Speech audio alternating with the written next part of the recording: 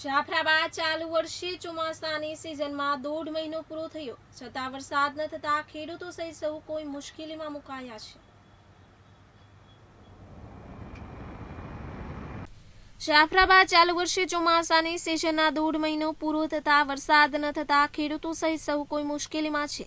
સારો વરસાદ થાય તે માટે આજે જાફરાબાદ ખાતે ટોટલ મુસ્લિમ સમાજના આગેવાનો જુમા મસ્જિદથી ઉઘાડા પગે મહમદ બસીરની દરગાહ પર દુવા માટે એકસાથે વરસાદ માટે દુવા માંગી હતી.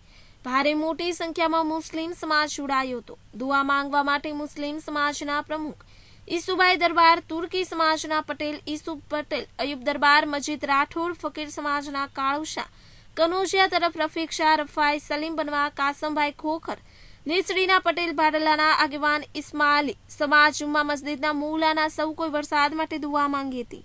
Babubhai Vadher, KTV news Gujarati, Jafrabad.